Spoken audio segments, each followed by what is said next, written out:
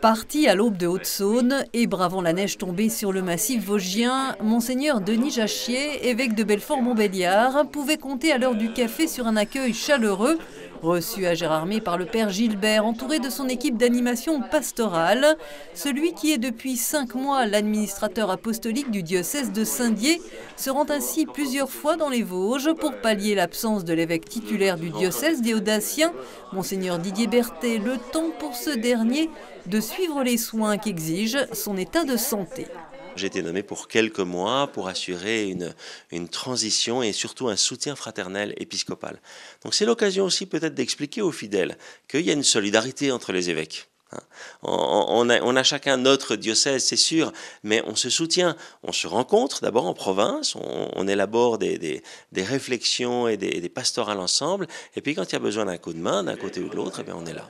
Nommé officiellement par le pape François, Denis Jachier n'a pas hésité à répondre à cette demande du Vatican. c'est le nonce qui m'a appelé. Le nonce, vous savez, c'est le représentant du pape en France qui euh, m'a appelé et qui m'a dit, euh, bon, il m'a donné des nouvelles, monsieur Berthet, que je connaissais, mais il m'a dit, voilà, on a pensé à vous pour assurer euh, la charge d'administrateur apostolique. Moi, j'ai été tout surpris parce que, étant depuis moins d'un an dans mon diocèse, je pensais qu'on aurait fait appel à quelqu'un d'autre. Ceci dit, il me semblait que c'était réalisable, et donc j'ai dit oui pour, pour accomplir ce service d'église. L'évêque de Belfort-Montbéliard doit donc se partager entre deux diocèses, certes proches géographiquement, mais il peut aussi compter sur l'équipe diocésaine locale pour le seconder. C'est surtout de présider des conseils. Hein. Donc le conseil épiscopal, le conseil presbytéral, le conseil économique diocésain, à chaque fois qu'il y en a un, je viens pour euh, le présider. Après, il y a des petits coups de main ponctuels. Il y a une question à résoudre. Euh, je suis en lien avec la directrice de l'enseignement catholique. Et voilà, quand elle a des, questions à résoudre, ben je, je, viens à ses côtés. C'est assez simple, en fait. Puisque euh, Monseigneur Berthet reste l'évêque. Donc, c'est ce qu'on appelle une situation de cédé plénat. Le siège est occupé. Du coup, les deux vicaires généraux gardent leur mission ce qui n'est pas le cas lorsqu'il euh, n'y a plus d'évêques, bon, bah, ils perdent leur mission.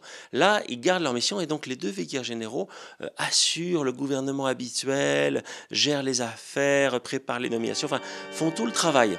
Ce dimanche de janvier, Denis Jachier a répondu à l'invitation du père Gilbert, arrivé récemment, lui, sur la commune de Gérardmer, et référent pour ce secteur très touristique du massif des Vosges, la paroisse Saint-Gérard de la Vallée des Lacs, qui compte également les villages de Liézec, son Relongemer et le Tauly. Un évêque impulse une dynamique pastorale, alors sa parole était très attendue. Pour nous, pour moi, c'est très important. Vous voyez, on dit généralement là où il y a l'évêque, c'est là où il y a l'église. Et puis euh, l'évêque vient nous confirmer dans la foi, aussi vient nous redynamiser, et surtout que nous avons mis en place une nouvelle équipe paroissiale. Donc c'est quand même important que l'évêque vienne euh, voilà, les bénir et puis les envoyer en mission. C'est très important pour nous, quoi. La présence de notre évêque parmi nous. C'est comme dans une famille. On a besoin d'avoir de temps en temps des félicitations ou bien les mots de, voilà, du, père de la, du père de famille. Donc il vient en tant que père voilà, pour euh, voilà, essayer de nous, de nous pousser, de nous conseiller, de nous aider à avancer. Et nous sommes très heureux de, voilà, quoi, de, de, l'accueillir euh, avec nous. on a l'abbé Gilbert, bien sûr, qui est, qui est avec nous tous les dimanches, mais aussi c'est important qu'au-dessus de l'abbé Gilbert, il y ait aussi quelqu'un avant d'arriver vers, vers le pape. Donc euh, on est important que, que notre évêque soit, présent et que, que, les paroissiens également le, rencontrent. On fera la découverte à la messe et ensuite un petit peu de, l'amitié qui clôturera euh, cette journée euh, de, dimanche 15 janvier. Puis là, aujourd'hui, il y a les quatre, euh, les quatre clochers de la paroisse qui sont présents, puisqu'il n'y a aucune autre messe présente enfin, sur le secteur. Donc, je pense que tous les paroissiens seront présents à Gérardmer aujourd'hui. Bah, ça représente une, de, se sentir dans un, cadre et une, une, parole qui, est, qui peut être donnée différemment de ce qu'on entend avec les personnes qu'on côtoie chaque jour. Et là, on a quelqu'un qui nous donne quelques, bah, quelques directions. C'est bien de pouvoir venir dans une communauté qui a besoin de soutien. Il y a une nouvelle équipe d'animation pastorale, un nouveau curé, donc c'est l'occasion un petit peu de, relancer la dynamique. Mais hum, évidemment, je ne pourrais pas aller visiter toutes les communautés, c'est pas possible. J'ai compris que Gérardmer, c'était une commune effectivement rurale, mais aussi très touristique, donc euh, à géométrie variable, Hein. Et donc c'est vrai que c'est tout à fait intéressant de rencontrer les gens. Donc je verrai bien hein, ceux qui viendront vers moi tout à l'heure, mais c'est l'occasion de comprendre ce qui se vit dans ces endroits-là. Moi, j'ai déjà fréquenté d'autres stations comme ça touristiques, et c'est sûr que pour la communauté locale, c'est un vrai défi. Il faut mener une vie de petite communauté et se disposer vraiment à, s'élargir, à ouvrir, à élargir l'espace de sa tente, comme il est dit dans le prophète Isaïe, pour que euh, chacun se sente chez soi dans l'Église. Les fidèles ont pu dialoguer et en ont appris un peu plus sur Denis Jachier, un ingénieur qui s'est d'abord consacré à la recherche en chimie organique avant de suivre sa vocation religieuse. En effet, j'avais des, goûts pour les sciences, hein, donc depuis longtemps, et donc euh, j'ai fait une école d'ingénieur, et puis comme j'aimais ça et que j'étais encore assez jeune, j'ai pu euh, me lancer dans une thèse. Et donc j'ai fini ma thèse avant de, devoir accomplir mon service militaire. Du coup, une fois docteur, bah, je suis parti aux États-Unis, j'ai profité de, voilà de l'obligation militaire pour faire un, stage postdoctoral euh, en recherche scientifique dans une université américaine, et c'est là vraiment que j'ai compris que le Seigneur m'appelait à autre chose. Donc après tout ces années de, recherche passionnante, de publication et autres, eh bien, euh, j'ai répondu à l'appel du Seigneur, j'ai raccroché ma blouse de labo et je suis rentré euh, comme séminariste dans mon diocèse qui était à Paris. Et donc, de fait, il y a eu un, changement d'orientation. En même temps, je pense que d'avoir fait des sciences pendant une dizaine d'années, ça a structuré aussi ma pensée, ma manière de, réfléchir, une certaine rigueur aussi. Et puis, euh, j'ai envie de dire, certes, je ne fais plus de recherche scientifique depuis, depuis ce moment-là, mais la recherche théologique, ça ne s'arrête pas. Depuis le début de sa mission dans les Vosges, l'évêque de Belfort-Montbéliard a présidé quelques offices. Le 5 janvier, c'était en l'église Notre-Dame des Cierges à Épinal pour une messe d'action de grâce et de prière à l'intention du pape émérite Benoît XVI, décédé en décembre dernier. L'occasion de rappeler l'héritage spirituel de ce grand théologien qui avait su à sa façon révolutionner l'institution en démissionnant de sa charge.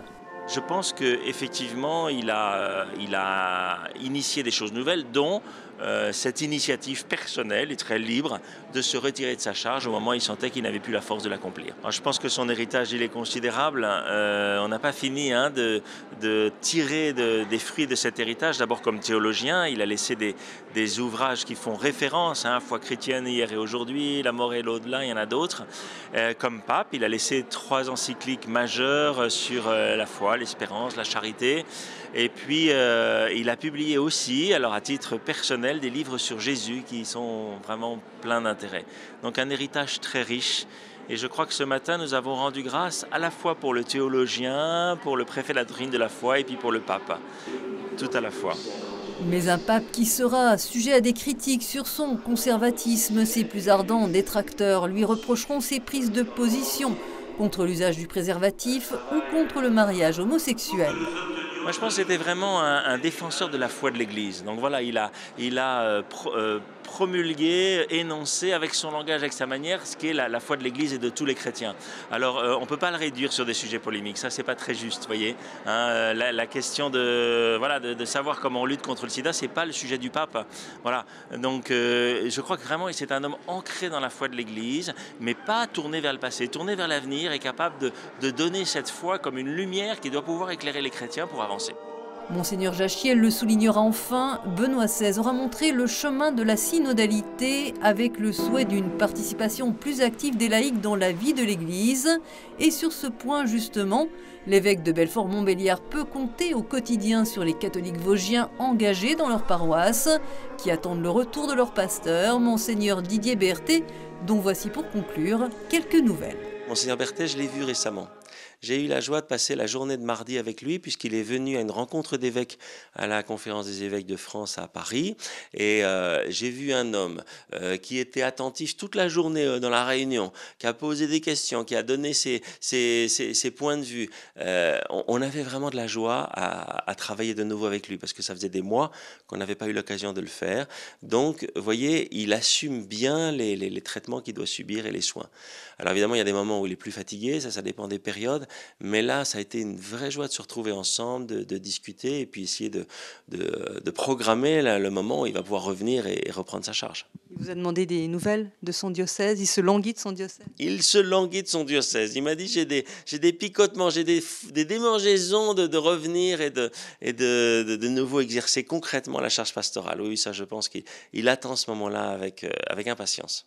Merci.